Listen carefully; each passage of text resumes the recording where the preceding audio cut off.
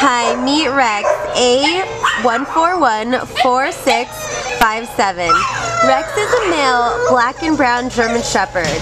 He's about 12 years old and he came to the shelter as an owner's surrender on December 3rd from Altadena.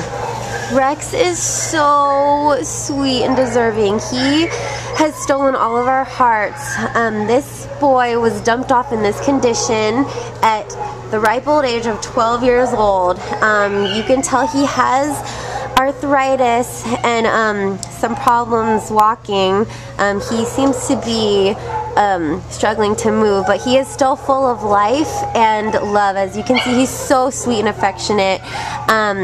This guy just really just needs a place to live out the rest of his golden years. I mean, he is 12 years old, but who knows, he could still have a lot of life left in him, um, a lot of years of love left to give. So please come and check out Rex. He is so sweet and deserving. He's a very handsome boy here at the Baldwin Park Animal Care Center.